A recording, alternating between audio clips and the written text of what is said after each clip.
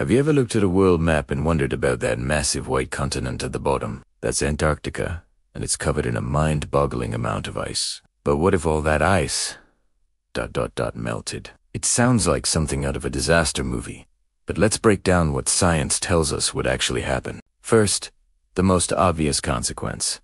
Sea level rise. Antarctica holds about 90% of the world's ice. If it all melted, global sea levels would rise by a staggering 60 meters, or nearly 200 feet.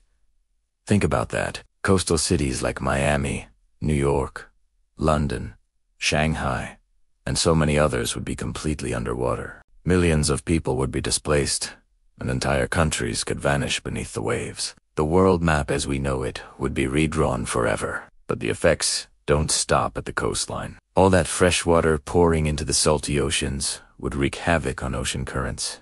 These currents, like the Gulf Stream, act like a global conveyor belt, distributing heat around the planet and regulating our climate. Disrupting them could trigger extreme and unpredictable weather patterns everywhere. Some regions might experience severe cooling, while others face intense heat waves and droughts. The delicate balance that makes our planet habitable would be thrown completely out of whack.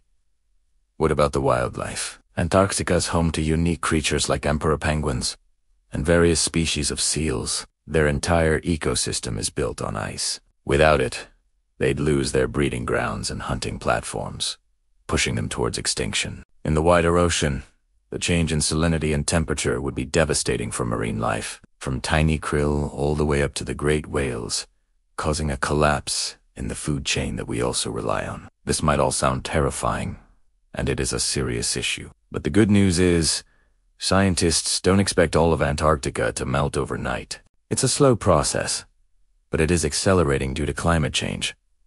This gives us a window of opportunity to act by reducing our carbon footprint, embracing renewable energy, and working together globally. We can slow down the melting and protect our planet for future generations. It's a huge challenge, but one we must face together. Thanks for watching. If you found this video interesting, please give it a thumbs up and subscribe for more content that explores our amazing world. See you in the next one.